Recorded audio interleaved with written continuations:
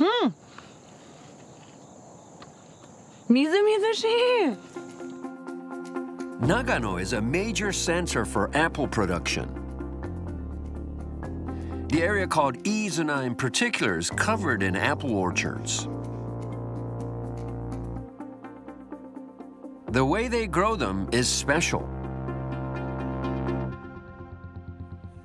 なんかイメージとしてはもっと上の大きい木だと思ってたんですけど低重心で考えられた栽培方法なんですよね風通しもいいで日当たりもいいっていうことでいいこと尽くしだろうっていうことで、The cultivation method was developed by Nagano's Fruit Tree Research Station. Trees are planted at close intervals and branches grow downward.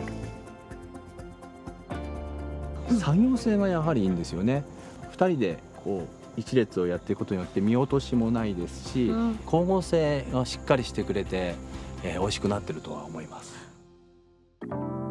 A local cafe offers cake made with the apples. お待たせいたしました。リンゴのタルトタタンでございます。Every piece contains the equivalent of three whole apples.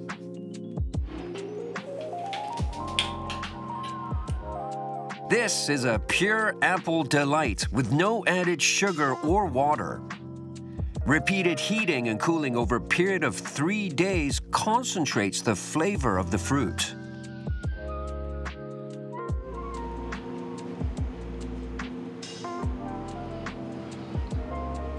美味しいありがとうございます。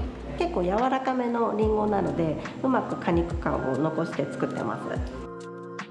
Ueda comes from a family of apple farmers. ちょっと形が悪くなってしまったもの、そういった跳ね出しと呼ばれるリンゴを成果用のリンゴとして買わせていただいてます。味は変わらないからこうやって違う形にして、そうなんです。価値をつけて The people of Izuna truly love their apples.